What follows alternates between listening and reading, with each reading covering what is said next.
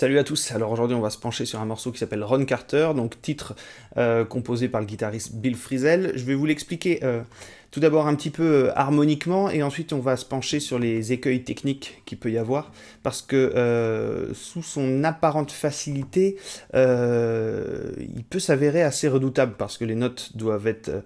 la durée de chaque note doit être respectée et en l'occurrence pour ça il faut parfois prendre des doigtés qui vont tirer un petit peu euh, sur les doigts. Donc comme j'ai dit, tout d'abord harmoniquement. Si on regarde juste la première ligne, en fait, elle va refléter l'harmonie. Euh, je suis sur un arpège de Ré 7. C'est-à-dire qu'on va faire... On est en drop de Ré, hein, comme vous l'avez vu euh, sur la partition. je vais jouer le Ré et ensuite La, Do, Ré.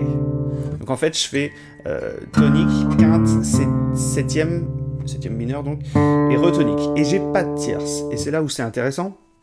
C'est-à-dire qu'en fait, euh, lui dans le morceau, il sous-entend parfois un Ré7, la plupart du temps, et euh, parfois un Ré mineur 7. C'est-à-dire qu'il oscille entre euh, deux modes.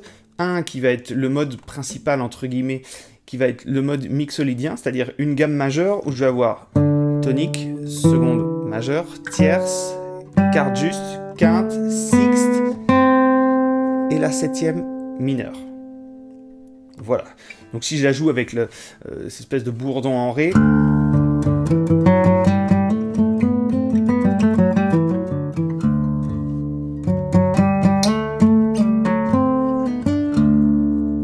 Voilà.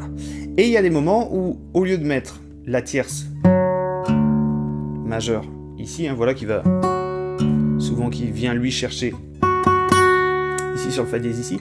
Parfois, il va mettre le fa. C'est-à-dire qu'au lieu d'avoir mon mode mixolydien, je vais avoir un mode dorien, c'est-à-dire j'ai juste la tierce euh, qui change, donc ça nous fait euh, mode dorien, c'est euh, un mode, une gamme mineure avec une sixte majeure, donc j'ai tonique, seconde majeure, tierce mineure, quarte, carte juste, hein, quinte juste, sixte et ma septième mineure.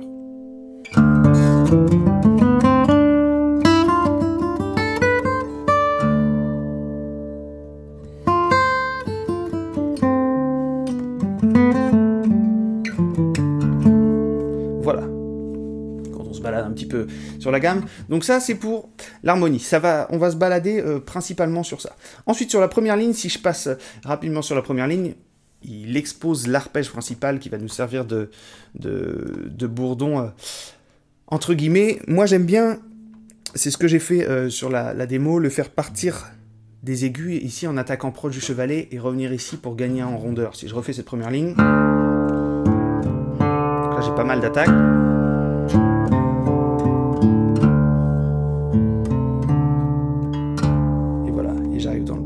Et ensuite commence le thème.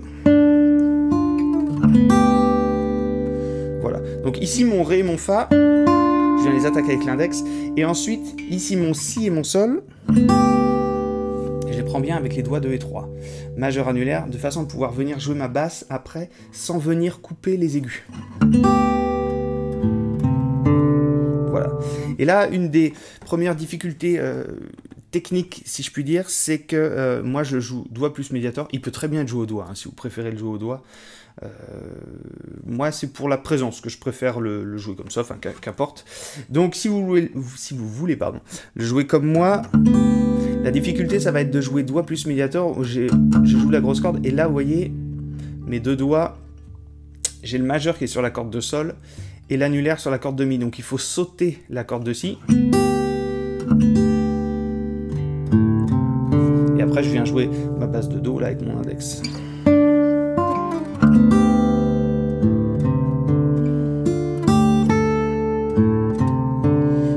Ensuite, on a le phrasé qui fait Fa, Sol, La. Et le La, moi, je viens le prendre avec le petit doigt. Parce que si je le prends avec l'annulaire, ce qui serait plus logique dans les doigts qu'on a l'habitude de prendre d'habitude, en fait, ça me met plus de tension dans la main quand je viens chercher le Do après. Alors que là, c'est super euh, relax. Et ensuite, c'est là qu'arrive un petit mouvement, euh, donc on est sur la mesure 7, un peu euh, plus inhabituel. Il joue en fait le Do et le Fa. Mais moi c'est vrai que j'aime bien garder le Do qui va résonner en même temps que je vais venir jouer le Ré après. Et là le problème c'est après pour venir jouer le Do, je viens le chercher en extension avec le, majeur, que je viens mettre en casse 3.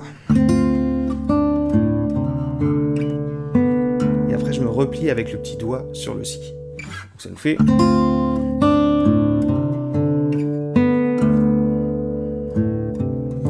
Voilà, ça me permet de bien respecter euh, les longueurs de notes.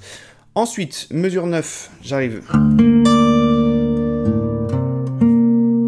Pardon. Pareil, là on va avoir ce gros saut de corde. Et le 9-8 là, c'est-à-dire mon Mi et mon Do, je les prends bien avec les doigts 2 et 3, de manière à ce que lorsque je vais passer ensuite sur le Do et le La en K5, je puisse avoir ce lien entre le Mi et le Do, que vous n'aurez pas si vous euh, prenez euh, finalement avec d'autres doigts. Voilà. Et c'est plus pratique pour euh, passer à la suite slide hein, qui nous emmène du Si au Sol vers le La au Fa pour reprendre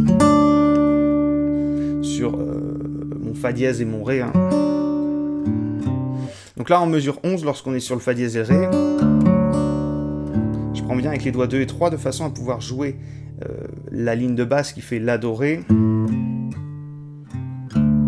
avec mon doigt 1 et mon doigt 4. Donc tout en gardant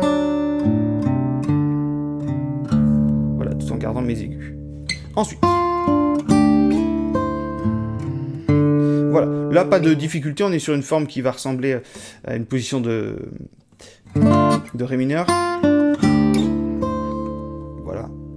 En l'occurrence en La. Hein.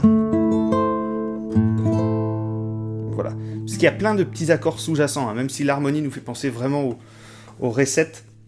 Je vous invite à écouter euh, sa version. Là, on est sur une version courte. Mais c'est vrai que lui, il explore encore plus hein, les, possibilités. C'est un petit peu la spécialité de Bill Frisell, ça de prendre des, thèmes simples et après d'aller euh, tirer le potentiel euh, optimal sur l'harmonie sur qui va être derrière en fait ce qu'il joue. Voilà, donc là j'ai ma position de Ré mineur.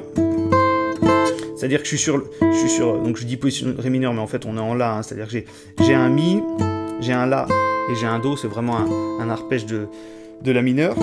Et je le prends bien avec les doigts 1, 2 et 4 de façon à garder mon doigt 3 jouer la ligne de basse. Et après, on vient jouer un arpège de Ré majeur, en fait, tout simplement. Voilà, j'ai mon Fa dièse, j'ai mon La et j'ai mon Ré. Et je vais venir jouer la basse avec le pouce par-dessus. Voilà, on n'est pas vraiment sur des, des doigtés euh, typés euh, classiques.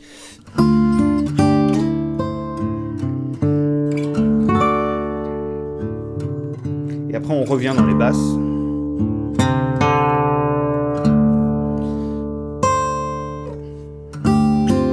Voilà, j'ai mon arpège qui va du do, du, mon slide pardon, qui va du do la. Et j'arrive en mesure du 7, hein, voilà, où je prends avec les doigts 1, 3 et 4.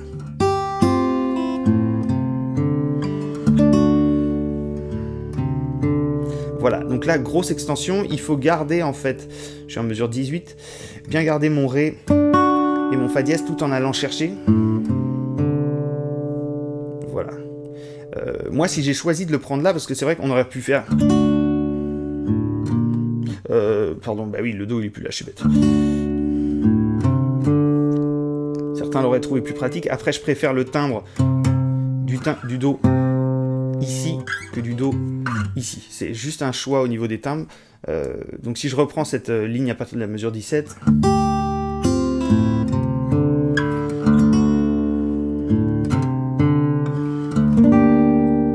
j'ai toujours ma position. Euh, là, on est sur une position de Sol mineur. Voilà. Et je vais chercher la basse, voilà, en Ré avec le petit doigt.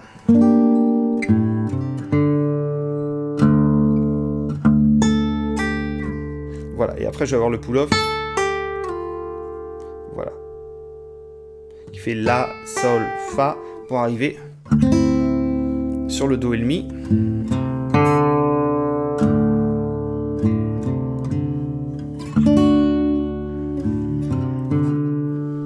toujours l'extension en cassette. Donc il sous-entend accord de 9ème, ici avec ma 7ème. Euh, oui. 7ème et ma 9ème. Et après, ici, un accord majeur. C'est là vraiment qu'il y a l'extension. Il faut bien que vous baissiez euh, le pouce, voilà, le, long du, manche pour pouvoir tirer le maximum possible. Plus vous aurez le pouce haut, moins vous pourrez faire d'écart. Hein. Donc bien penser à ça. Donc là, on a, euh, bah, j'ai fait le tour, hein, en gros, de tous les, petits écueils possibles dans ce morceau-là. Donc euh, bah, travaillez ça bien, et puis ben, on se voit au prochain épisode. Allez, salut Retrouvez toutes les partitions relatives à cette leçon dans le numéro 58 de Guitare Sèche le Mag, disponible en version papier ou numérique, par abonnement ou en kiosque. Le lien de notre boutique est disponible dans la description de la vidéo. Si cette vidéo vous a plu, n'hésitez pas à la partager et à vous abonner à notre chaîne.